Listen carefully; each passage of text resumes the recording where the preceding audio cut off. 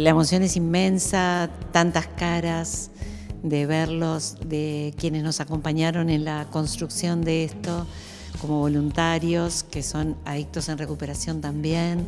Yo, posterior a mi jubilación, tengo 65 años y acá estoy.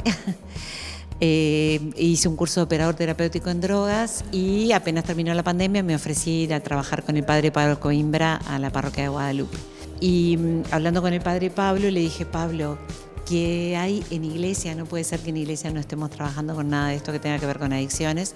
Y él me dio a conocer la Facenda de la Esperanza. Ahí conocí la familia de la Esperanza, que no es solamente la Facenda, que es la comunidad terapéutica, sino los grupos Esperanza Viva.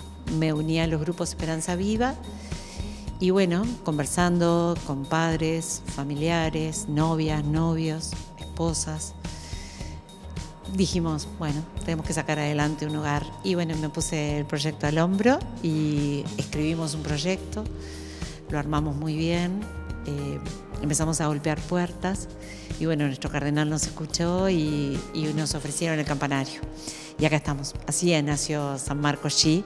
Entonces no queremos que sea una comunidad terapéutica más. Esto es una casa asistida. Eso quiere decir que es un lugar donde ellos entran y salen con absoluta libertad. Tienen que dar cuentas, por supuesto, de lo que ha sido su día, como en una familia.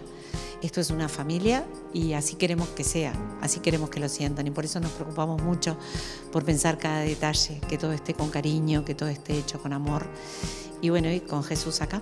Así que Jesús está aquí en medio de nosotros y así queremos que siga estando.